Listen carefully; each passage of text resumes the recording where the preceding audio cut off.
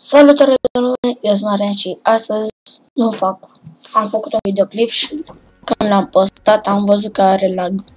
Cer scuze, am făcut o greșeală de editare. Ne auzim, mai fac un episod. Pa!